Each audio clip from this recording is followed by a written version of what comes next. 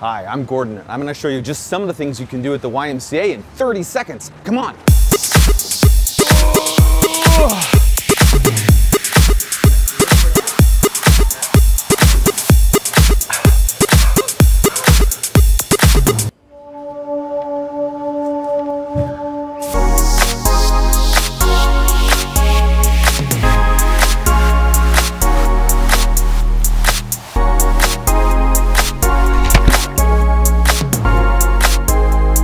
If I can do all that in 30 seconds, come see what the Y can do for you.